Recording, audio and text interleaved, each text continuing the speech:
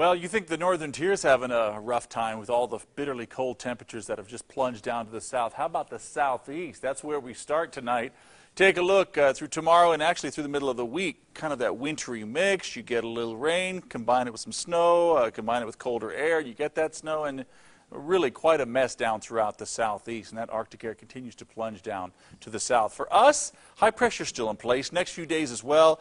That keeps any sort of wet weather, any storms out of the way but it won't last. Oh, unfortunately, I know it won't last. East Coast still getting that wintry blast. The West, a couple of storms come on through. That's fine. They stay to the north, but then high pressure starts to break down. It's going to make a difference in our temperatures for weeks and yeah, as quickly as that, believe it or not, as that jet stream starts to lower quite a bit, it'll allow more storms to get very close by. We're not talking any rain, but we are talking about a cooler pattern coming up. Oh, well, it couldn't last forever, I guess, right? 70s through the pass tomorrow, uh, 60s in the upper deserts for the most part. Cross our valley and out to the Salton Sea, we're talking more 80s. Now, we've got a couple of days of the 80s. That's okay. We'll take them. Be happy for what you have rather than what you don't have, right? Isn't that the way it's supposed to be?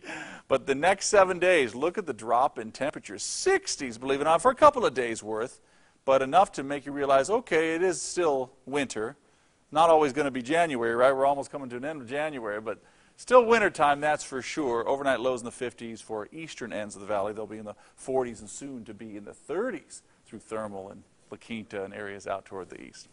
All right, Gino, Elizabeth.